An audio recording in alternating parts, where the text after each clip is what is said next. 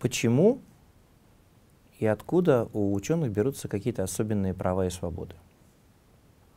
Собственно, со средних веков мы знаем, что университеты были особенными корпорациями. Они обладали определенной автономией, свободой, и студент в средневековом городе был чем-то средним между, так сказать, образованным э, ученым и хулиганом, поскольку его довольно трудно еще к тому же еще было и наказать. Он был представителем другой корпорации, другого цеха.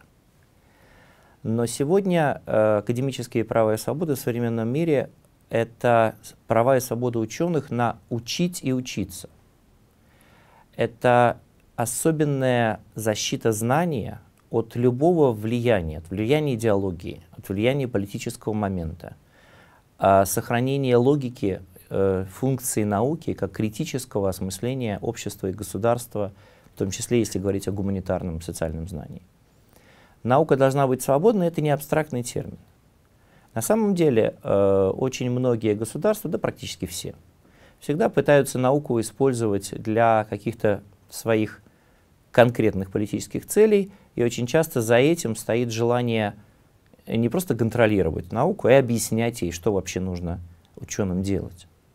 И поэтому основная задача академической свободы — это защита ученых от контроля государства. Это не значит, что э, ученые вообще свободны абс абс абсолютно. Мы знаем, что нет так сказать, абсолютной свободы. Речь идет о высокой степени автономии, и речь идет о высокой степени самоопределения ученых, например, в том, в каком направлении им двигать исследования. Можно ли им исследовать вот это, а можно ли им исследовать вот это, каким образом им делать то или другое. Мы знаем, что для авторитарных режимов вообще свойственно, особенно гуманитарное и социальное знание, использовать в совершенно практической идеологической плоскости. По сути дела, в Советском Союзе э, большая часть гуманитарного знания, собственно, и представляла собой идеологический продукт. Э, нич- и, в общем, к сожалению, ничего другого больше. Э, это как раз причина того, почему гуманитарное социальное знание сегодня в России находится в большом кризисе. Потому что за исключением нескольких десятков человек, основное — образование, которое было получено людьми, это было образование не критическое, это было образование не гуманитарного знания, это было образование идеологическое. Это то образование, которое очень сложно конвертировать в современном мире. Это то образование, которое очень трудно продать, потому что это и кто, кроме того, что еще и рынок. Это тоже свободный рынок, это, это соревнование людей. И академические права и свободы — это в том числе залог успешного функционирования этого рынка. Мы, в общем, знаем, что за некоторыми исключениями, за очень немногими, фактически речь идет о том, что академические права и свободы обладают такой функцией гарантии производства успешного академического знания.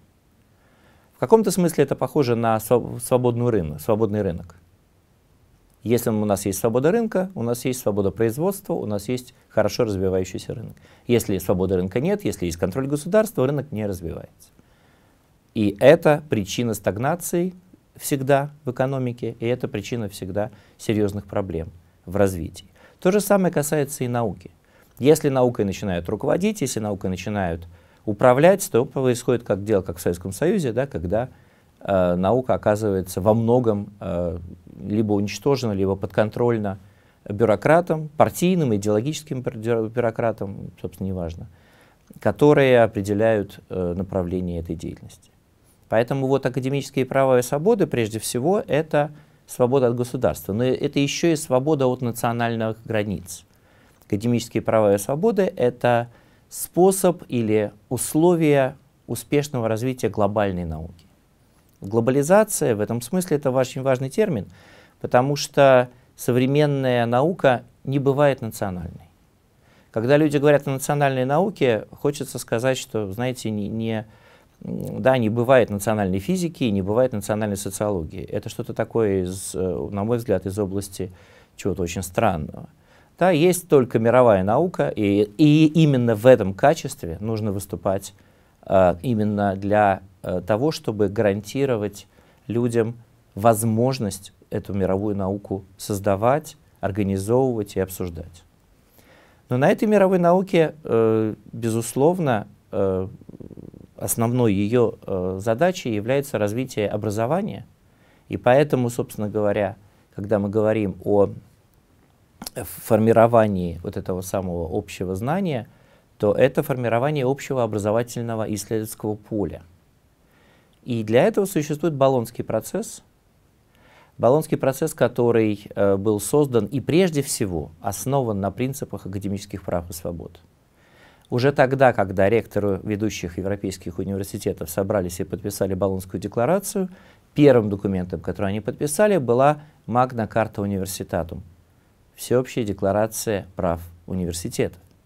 Университетские права и свободы были зафиксированы как основополагающий документ, гарантирующий права и свободы э, для развития свободной науки. Поэтому сегодня, когда мы говорим о вызовах этой свободной науки, можно перечислить несколько из них. Прежде всего, это вызов секьюритизации. Конечно, государство имеет право знать и контролировать опасные технологии или опасные процессы, которые находятся иногда в руках ученых тоже. Ну, не знаю, там разработка атомной бомбы, бактериологическое оружие. Но, тем не менее, это должно быть закрытый, предсказуемый и достаточно жестко контролируемый учеными список Конечно, второй серьезный вызов — это такой новый виток холодной войны, или как ее сегодня называют, вот этот вот э, санкционный, когда речь идет о сложностях во взаимодействии между учеными. Безусловно, то, что должно быть совершенно невозможно, это запрет для ученых пересекать границы в обе стороны. К сожалению, эта практика не только авторитарных государств, но и вполне себе демократических. Государства полагают, что если они, э, в, к ним не приехали ученые которые не разделяют официальную, лояльную по отношению к этому государству точку зрения, то это их как-то защитит или сделает их более безопасными. Я бы сказал, это сделает их более авторитарными, менее демократическими. Поэтому то, что совершенно невозможно, это ставить э, препоны любому академическому общению. Мне кажется, что это как раз э, сильно смешивает так сказать, сотрудников правоохранительных органов или там, спецслужбы с учеными. У ученых нет задачи э, так сказать, никак влиять на политику и тем более на практику тех или иных государств. У них может быть мнение отличное как от мнения своего государства, так и от мнения любого другого. Но на это они ученые. Ученые вообще обладают, э, на мой взгляд, в высокой степени автономии. И прежде всего эта автономия заключается в критическом отношении, в критическом подходе к любому э, мнению, к любому, э, так сказать, э, положению вещей в любой стране.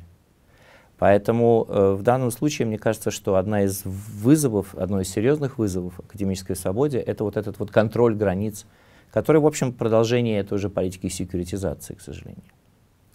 Ну и еще один серьезный вызов академической свободе, безусловно, это э, то, что я бы назвал неолиберальными реформами.